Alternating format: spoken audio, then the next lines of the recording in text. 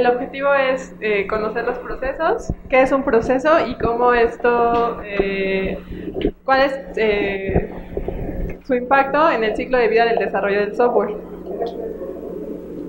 ¿Todos saben qué es un proceso? ¿No? ¿Lo han escuchado? ¿Tienen idea? Bueno, un proceso es la operación eh, que se, las operaciones que se ejecutan para obtener algo. Es decir, tú tienes una entrada, haces algo y ese algo te va a generar una salida. Ese es un proceso. Entonces, por eso todo lo que hay aquí es un proceso. Todo, todo conlleva un proceso. Eh, mucha, la importancia de los procesos, eh, si lo ves como un enfoque organizacional, hay dos tipos de empresas. Las empresas que trabajan por silos y las empresas que trabajan por procesos. Muchos conocemos eh, las organizaciones tradicionales que te dicen, bueno, hay un director, hay muchas áreas y esas áreas hacen cosas, ¿no? ¿Eso cómo impacta a la calidad de lo que estás haciendo? En este caso, para el desarrollo, todos conocemos, o bueno, quien está involucrado en, la parte del software conoce que hay seis pasos fundamentales para el desarrollo del software, ¿no? los requisitos, el análisis, el diseño, la construcción, las pruebas y la implementación, ¿no? Y todo el mundo lo conoce y dice, ok, eso es lo que se hace. Ese es un enfoque tradicional. Yo como egresada, platicando una vez precisamente con una egresada de aquí que es programadora, me dice, cuando yo iba a la escuela, mi profesor me dijo, cuando tú vayas a desarrollar algo, piensa que es un perro y que a ese perro le vas a construir una casa, ¿no? Entonces tienes que saber de qué tamaño es el perro, de qué raza y no sé qué.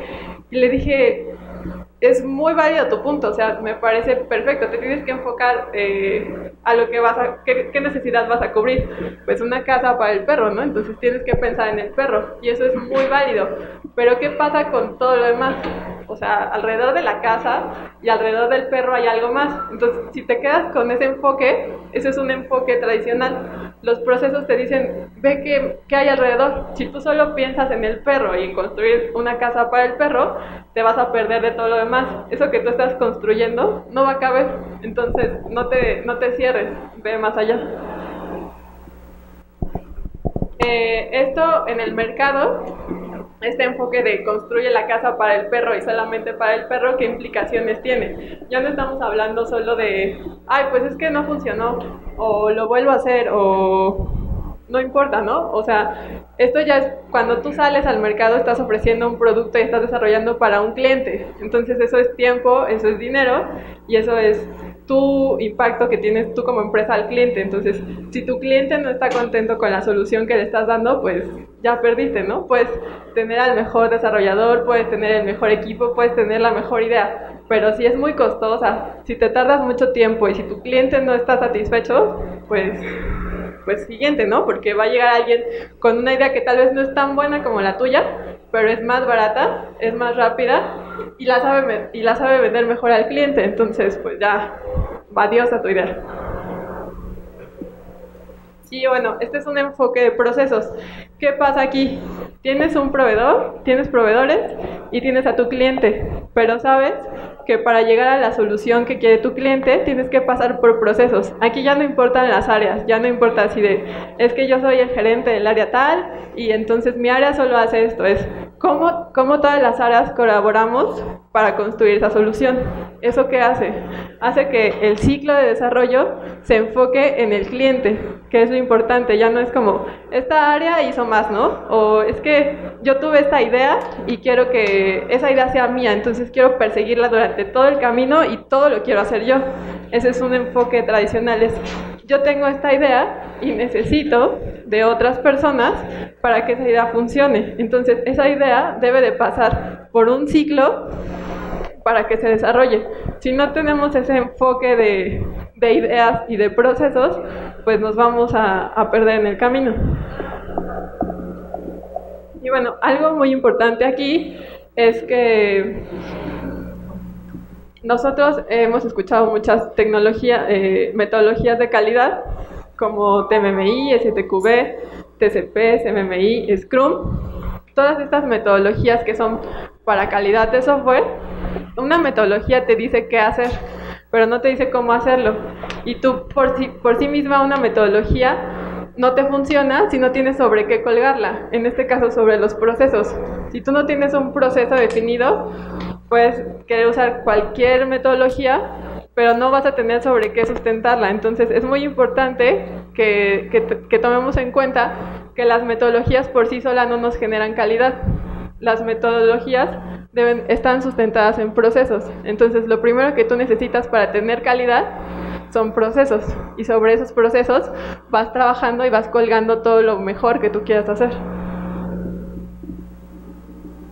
Y bueno, este es un ciclo de desarrollo de software ya con un enfoque de procesos. Ahí te das cuenta que todas las etapas del, del, proyecto son interdependientes y que necesitas mantener una línea de calidad a lo largo de todo el ciclo de vida.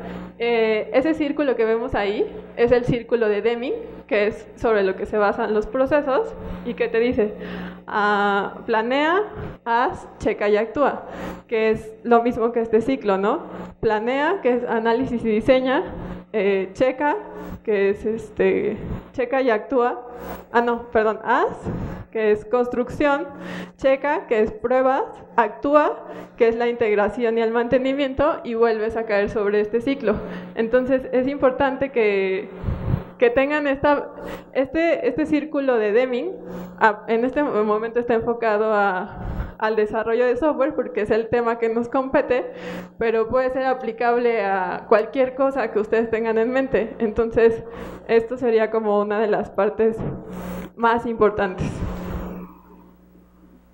Y bueno, regresando al ejemplo del perro y los procesos, ahora sí, si tú tienes un enfoque de procesos, ya no solo piensas en el perro, ni en la casa del perro, piensas en las condiciones climáticas que vas a tener, en si en la casa del perro va a estar adentro o afuera, ¿no? ¿Qué tal si yo construyo una casa de madera, pero iba a estar en el jardín? ¿Qué va a pasar con esa casa cuando llueva? Pues ya, bye, porque ya no va a servir para el perro, ¿no?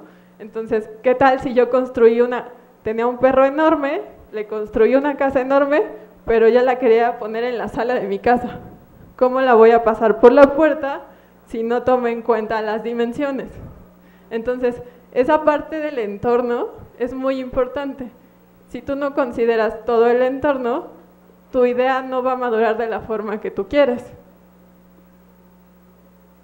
Y bueno, los beneficios de tener un enfoque de procesos pues es lo que se conoce en el mercado como el time to market, que es tiempo, costo y calidad, eh, el incremento en la eficiencia operativa, la reducción de riesgos. Si nosotros tenemos esta visión de, planear, de ver el entorno antes de querer establecer una idea, tenemos más posibilidades de, de identificar riesgos y de prevenirlos antes de que se vuelvan problemas. Eh, también está la mejora continua, que es el, el círculo que les puse y el impacto a la satisfacción del cliente, que al final, pues todo lo que se hace es para un cliente, ¿no? Y bueno, ahora les vamos a hablar un poco de, la empresa de donde yo vengo y de la idea del proyecto de innovación Team.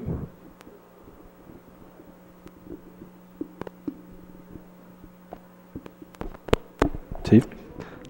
Buenas tardes, muchas gracias, gracias Angie. Bueno, les vamos a comentar eh, quiénes somos, qué hacemos y cómo se relaciona y qué es lo que estamos haciendo eh, en cuestión de calidad y con esto de los procesos. En primer lugar, quiero comentarles cómo es que estamos aquí y Angie es cómo es que está participando en nuestra empresa.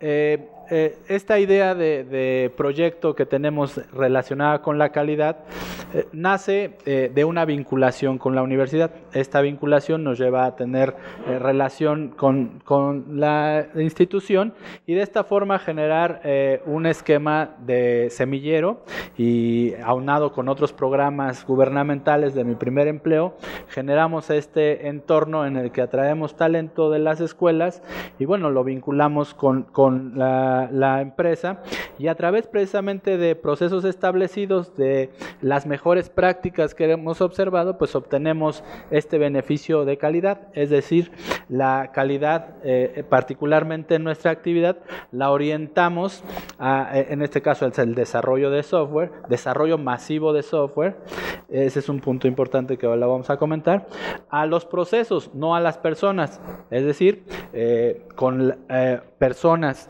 con talento las acercamos a la empresa y eh, con los procesos establecidos hacemos los ajustes necesarios directamente sobre los procesos para de esta forma generar calidad en los productos que generamos.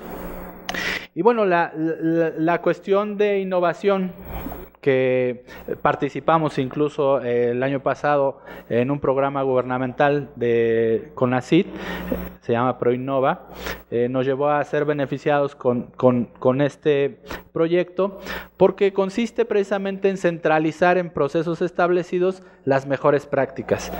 Y bueno, y ahí intervienen muchas cosas. Particularmente la función de nuestra empresa es desarrollar masivamente programas. Es decir, eh, si bien conocemos eh, empresas que se dedican a desarrollar aplicaciones, consultorías o empresas de desarrollo, lo que hacen sistemas.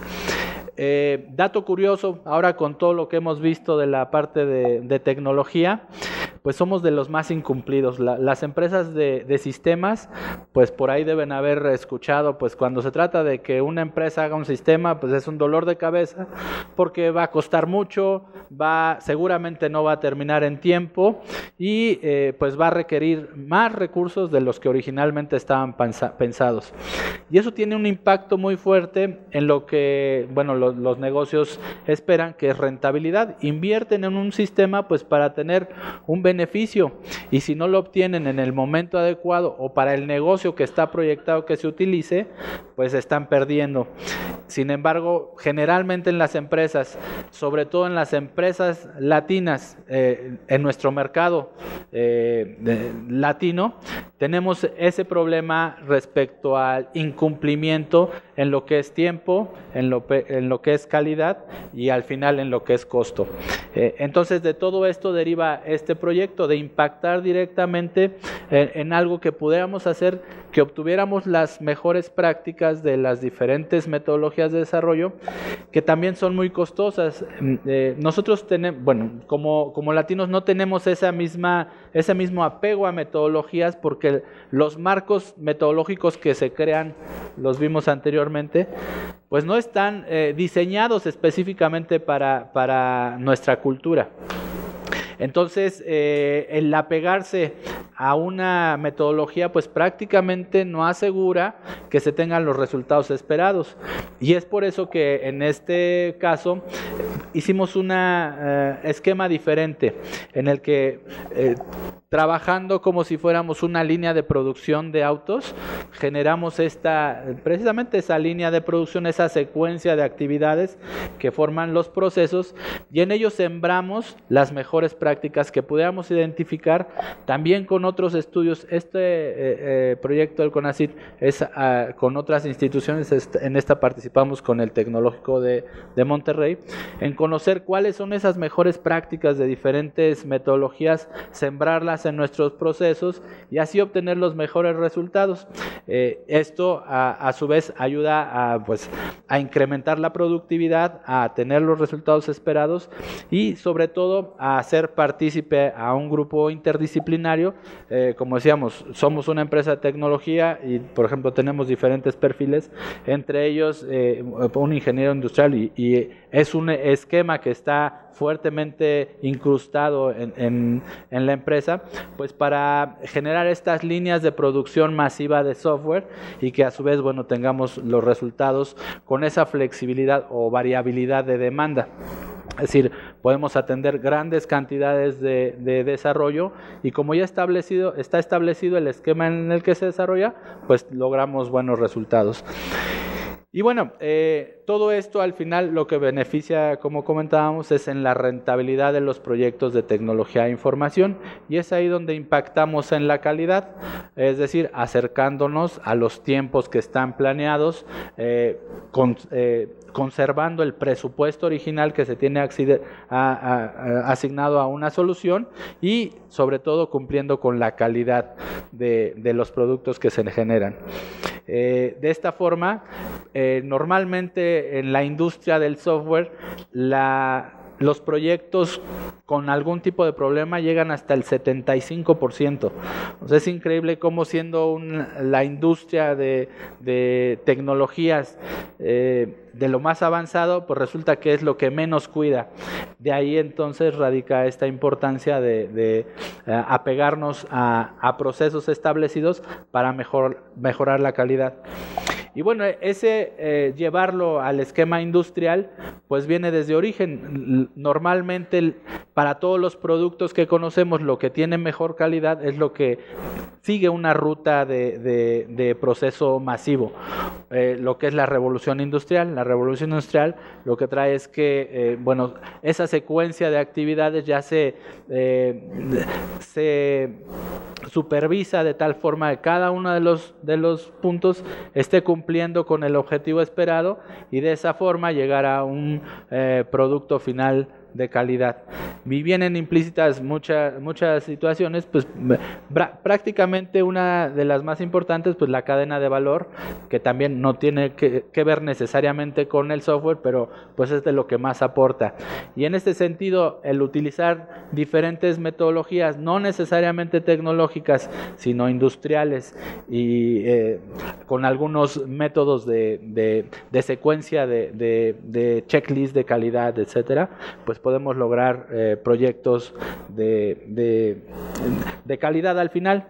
Y un dato curioso es que haciendo pues negocio con esto y viendo, visitando diferentes empresas, hemos llegado a tener ofertas que en los que este método no se aplique necesariamente a la tecnología, sino a la realización de proyectos en general. Y bueno, en eso estamos explorando a ver en qué otra cosa podemos utilizar eh, este, este modelo, que al final tiene el nombre de Team. Eh, Team Information Management y eh, lo estamos convirtiendo en algo así como un Lego Team, que, en el cual, bueno, lo estamos visualizando para aplicarlo en diferentes disciplinas. Bueno, vamos a ver un video representativo de lo que hacemos.